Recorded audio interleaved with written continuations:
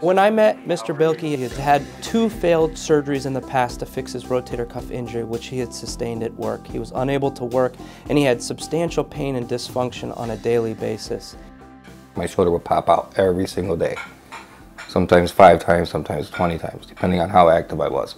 It gets you down, it can't do things. Me and my son haven't played a game of basketball in over two years. I probably didn't sleep for almost 18 months because anytime when I was on the recliners, um, if I moved and it went down, the shoulder would pop out of the socket. Rotator cuff is a muscle tendon unit comprised of four muscles and their associated tendons. In Mr. Bilkey's case, he had a large hole in that cuff of tissue that was irreparable.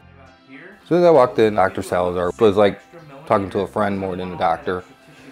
First words out of his mouth, it happened, Rob, but I'm gonna give you the best opportunity to heal. And that's how, that's how he presented it to me and we discussed the possibility of performing a superior capsular reconstruction.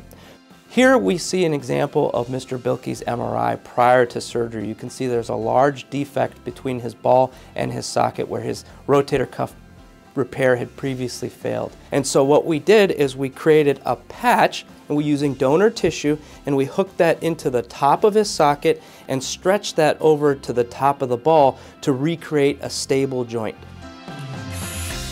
Now it's seven months now. It doesn't pop out of the shoulder. My range of motion is really good. I can almost say I could mold a lot. I, I know I could shovel. I've done some painting. Been on my hands and knees digging a ditch. Is there still restrictions? Yeah, but I still have opportunity. I'm able maybe to swing the bat with the kids when my wife has these babies and they, they start playing Little League. Um, I feel confident. The other, the other two surgeries, no, never.